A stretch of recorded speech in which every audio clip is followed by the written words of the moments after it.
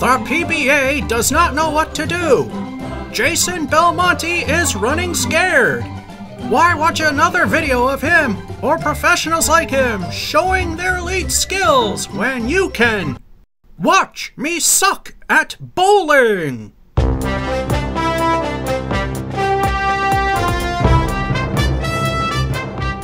Welcome to the fourth and final week for October 2020's edition of Watch Me Suck at Bowling, coming to you from Gardner 10 Pins in Gardner, Massachusetts. We've had our typical starts in the low hundreds and climbed our way up, and climbed our way up again to a 139, just short of average skill ability. Can we keep that up? Are we going to fall back down? We'll only know once we tell you that Watch Me Suck at Bowling is proud to sponsor the hit Candlepin TV show King of the Palace whenever it comes back. Type King of the Palace in the YouTube search bar and watch your heart's content. If you like what you see, go to youtube.com slash New Palace Lanes. Hit the subscribe button and the notification bell to see new videos when they come along. And now, time for 10 Pin and the train wreck trying to do good. Last game, frame one, ball one.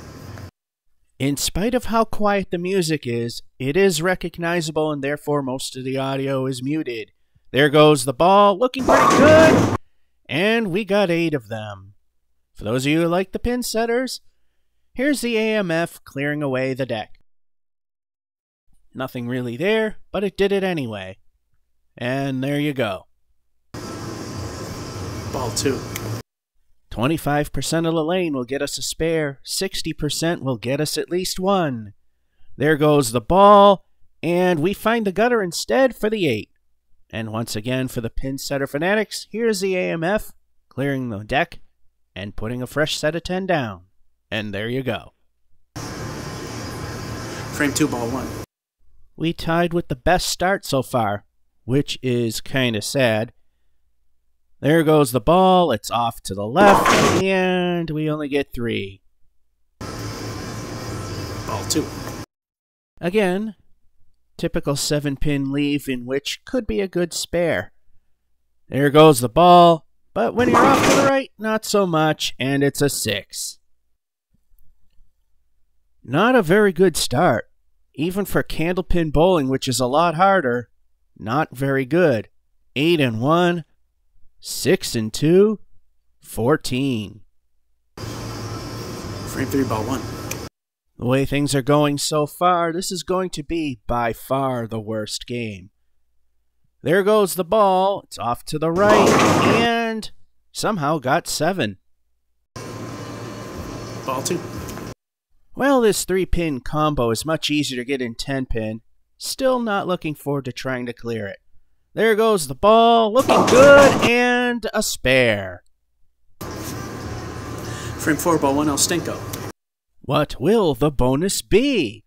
Hopefully it's good. Help make up for the first two frames. There goes the ball, looking somewhat good, and a six fill. Ball two. Left side mini rail and the eight pin. Little difficult to get. There goes the ball. It's heading in the right direction, leaving the middle finger for 9.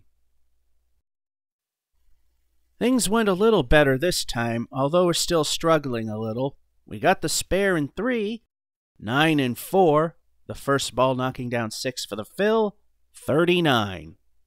Frame 5, ball 1. Let's see if we can continue this improvement. Although it's a little slow, but it's heading in the right direction like that ball. A little thin, but a strike. Frame 6, ball 1, two El Stinkos. What will they add up to? Things have definitely been getting better as we go along. There goes the ball, looking good again, and we got a double. Talk about improvement. We got a double strike. We are at at least a 69 with two more El Stinkos to come. Can we get a turkey? Let's find out. Frame 7, go 1. Ball 1, going for the turkey. Will it happen? Let's hope it does. It's been quite a while. We've done it a couple times. There goes the ball. It's looking pretty good. And no, it did not happen.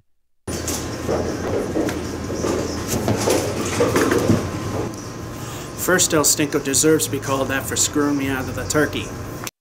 On the other hand, we could still get a spare, and that'll still be good for the score. There goes the ball. It's looking pretty good, and we got it. Frame 8 ball 1, El Stinko.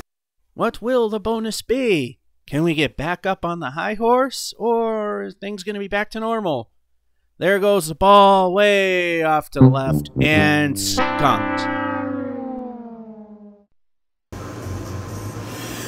Ball 2.